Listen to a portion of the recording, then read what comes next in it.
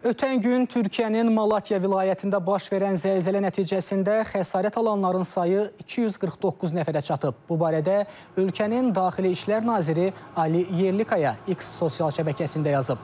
Xatırladaq ki, zəlzələnin gücü 5,9 bal olub. Yeri gəlmişkən, bu gün də Sivas vilayətində ən güclüsü 4,7 bal olmaqla iki zəlzələ baş verib. Bu, sakinlər arasında təşvişə səbəb olub. Dağıntı və ya xəsarət alanlar barədə məlumat Meet.